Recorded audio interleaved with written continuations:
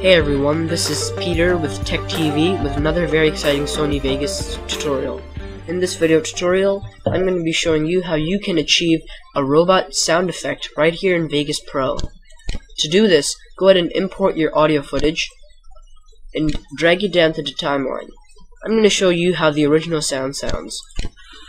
Check out this robot sound effect. See, it's my normal voice, nothing there.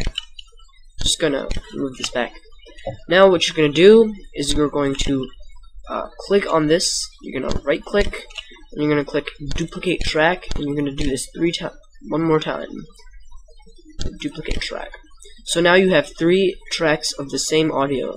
Now go to the first one, click here on the track effects, click on this button right here to add an effect, go over here and add pitch shift click add, click OK, and here you're gonna go to the first one and you're gonna go about down to about three, four, five, any number, and you're just gonna need to remember that number. So right now I have negative 3. After that I'm going to click preserve duration and all this means is that it's not going to make the video go faster and it's only going to change the pitch of my voice.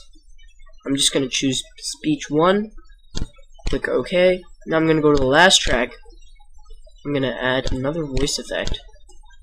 I'm gonna add pitch shift add okay? Now in my first one I made it to negative 3 here. So now I'm gonna make it to positive 3 once again preserve duration speech 1 and there.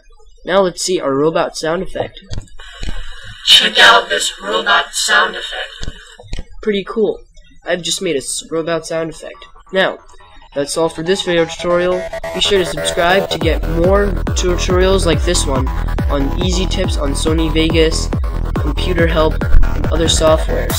Thank you for watching, and be sure to check out next time.